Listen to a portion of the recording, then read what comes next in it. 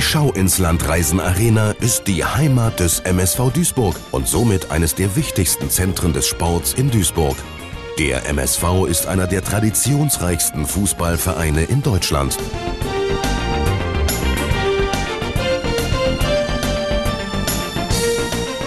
Die Arena ist 205 Meter lang, 165 Meter breit und 26 Meter hoch.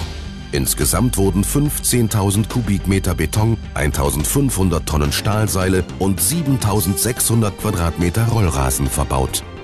Die Schau ins Landreisen Arena bietet Platz für knapp 32.000 Zuschauer. Die interessieren sich natürlich vor allem für Fußball. Doch ist die Arena auch Austragungsort vieler weiterer Events.